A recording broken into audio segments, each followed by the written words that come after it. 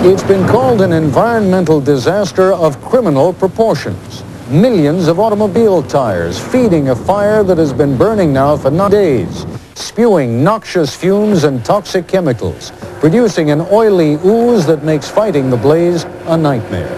Hundreds have been forced to flee their homes, and it may not be over for months. Here's an interesting trivia that is relevant to our subject tonight. The energy from burning one automobile tire is sufficient to heat one home for one day. When you consider that we have stockpiled between 2 and 3 billion used tires in this country, and that we are discarding approximately 280 million more every year, there is a certain compelling logic to using those tires protectively or productively. For the most part, however, we don't. A solution to today's scrap tire crisis. Ashes to ashes, dust to dust. That biblical prophecy holds true for most things. Most things in a landfill at least. But not tires. A tire is a tire and will be for hundreds of years. It won't decay. It won't stay buried. But it will catch fire due to lightning or as in the case of the Canadian catastrophe covered by ABC's Nightline, the results of arson. This fire is clearly a symbol of the problems we have in North America generally with stockpiling tires and not putting them immediately into recycling programs. And number two is that the oil that is the inevitable runoff from the meltdown from these uh, tires is going to go into Lake Erie. Used tires are a real problem, and the is most people do not want tires can be shredded and chipped. They can be mixed with asphalt, used with rubberized asphalt on the road. But the market is just not big enough to absorb all the tires that we as a society wear out every year. And these piles some with millions of used and unusable tires, aren't confined to Canada. There are no national registries of tire piles, but there are literally thousands of them.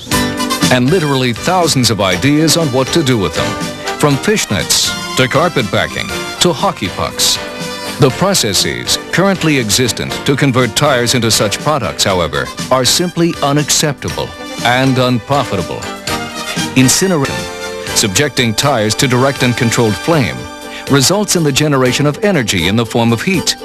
But there's a heavy price for this single benefit. In fact, incineration of, of any hazardous waste, and tires are hazardous waste when they're incinerated, generate emissions much like the emissions that are generated at this fire.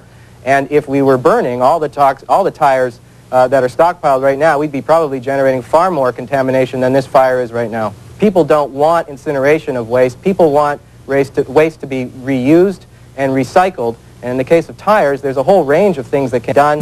And one of those things is pyrolysis.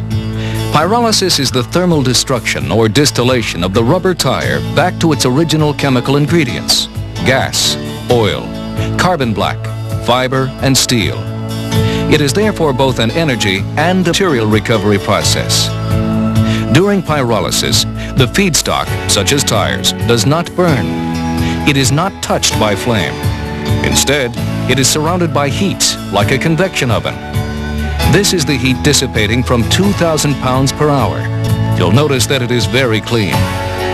The heat generated can be used in part as an energy source for the plant itself.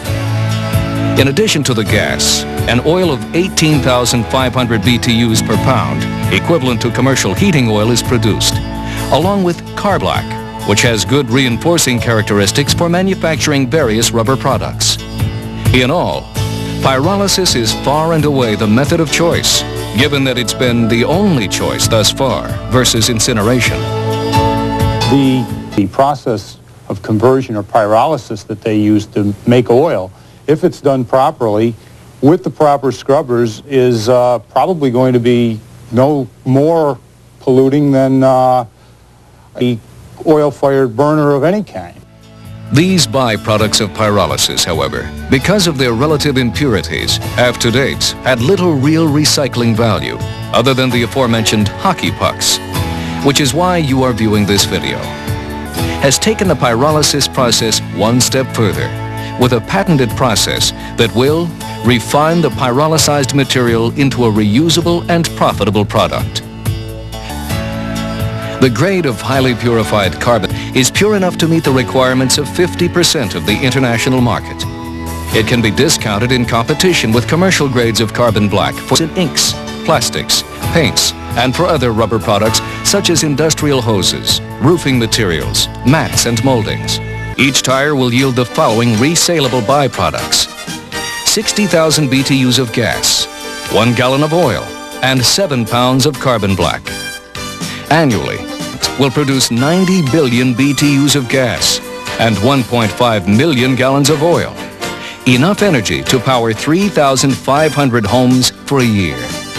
Additionally, it will yield 10 million pounds of carbon black. Today, the North American demand, carbon black, is 1.5 billion pounds annually.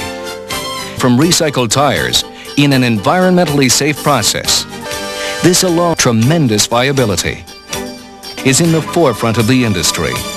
It's also in the New York Times, where an industry expert proclaims, as far as covering carbon black is concerned, this is the only sensible process to do it. The same article also reminds us that the need to find a use for scrap tires is mounting daily. At the same time, half of the country's landfills no longer accept tires. It's the now.